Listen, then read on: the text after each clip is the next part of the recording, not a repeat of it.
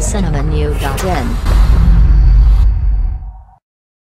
கர்நாடகாவில் திருமணமான பெண்ணோடு தொடர்பு வைத்திருந்த நபரை நிர்மாணமாக்கி மனத்தில் கட்டி வைத்து அடித்து கொலை செய்துள்ளனர். யாத்கிரி மாவட்டத்தை சேர்ந்த நபர் ஒருவர் திருமணமான பெண்ணான நிர்மலா என்பவருடன் தவறான தொடர்பு வைத்திருந்துள்ளார். இது அப்பெண்ணின் கணவருக்கு தெரிய வந்ததை அடுத்து சில நண்பர்களுடன் சேர்ந்து அந்த நபரை நிர்வாணமாக்கி மரத்தில் கட்டி வைத்து அடித்து கொலை செய்துள்ளனர். மேலும் தனது மனைவியும் தாக்கியதால் அவர் மருத்துவமனையில் சிகிச்சை பெற்று வருகிறார். இச்சம்பவம் அப்பகுதியில் பரபரப்பை ஏற்படுத்தியுள்ளது. மேலும் இதுபோல செய்திகளுக்கு லைக் மட்டும் சப்ஸ்கிரைப் செய்யவும்.